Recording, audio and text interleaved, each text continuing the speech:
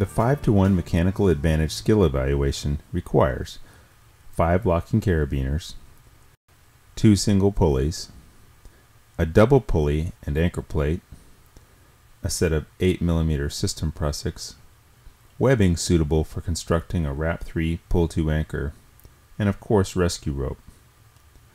You'll also need a load, and here we use an old tire that we can drag. Time begins when the rescuer picks up a piece of equipment. We start here by tying a figure 8 on a bite. Connect the carabiner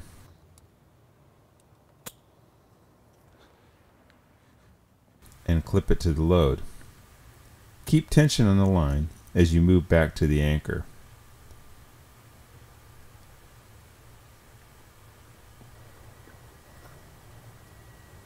At this point, use your webbing to construct a Wrap 3 Pull 2 anchor.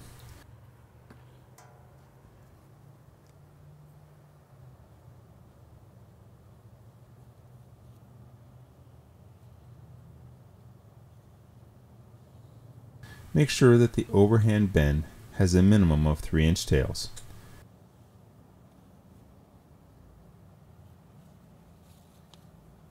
It's easiest to pull all three loops out and then drop the bend loop.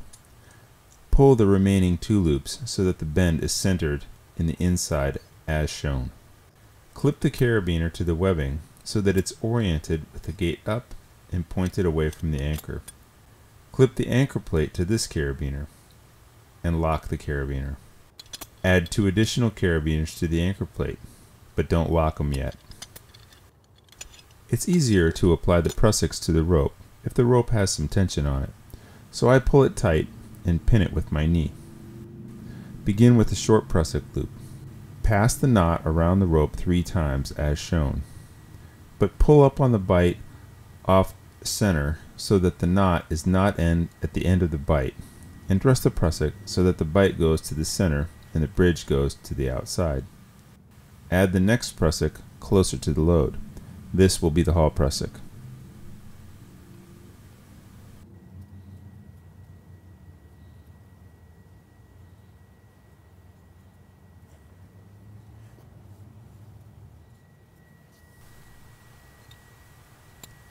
Now clip the ratchet prusik to the carabiner farthest from you and then add a prusik minding pulley and lock the carabiner.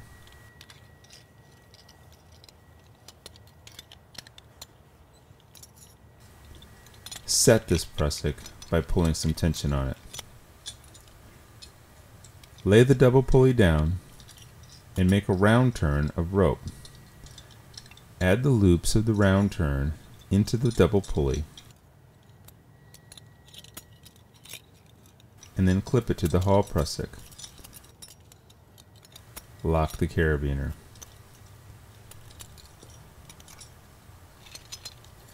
Add the final single pulley to the remaining loop and clip it to the last carabiner at the anchor plate. Now you can expand the pulley system in preparation to haul.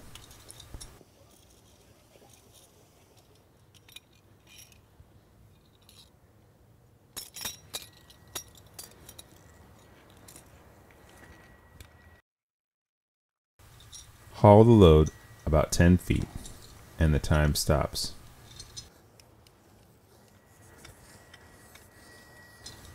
The rescuer needs to pull on the load end of the rope and the ratchet must hold.